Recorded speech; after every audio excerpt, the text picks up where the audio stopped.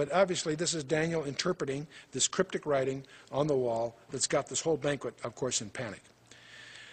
Well, it's interesting.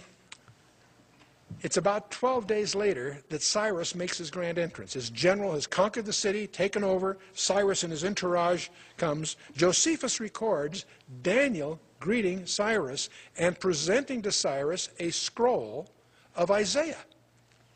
And what is in the scroll of Isaiah is a letter to Cyrus written 150 years earlier, long before Cyrus was born.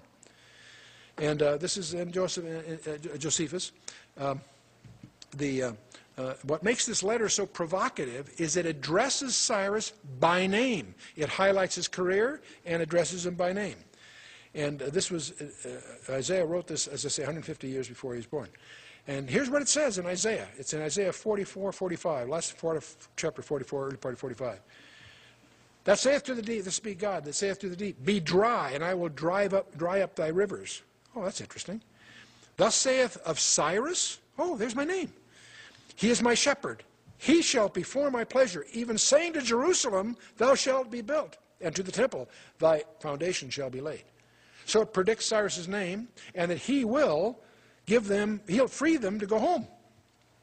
Thus saith the Lord to his anointed, to Cyrus, to his anointed. Here is, in the Old Testament, a Gentile called the anointed of God. That's interesting. Whose right hand I have holden to subdue nations before him. I will loose the loins of kings. A strange phrase. You may miss that otherwise.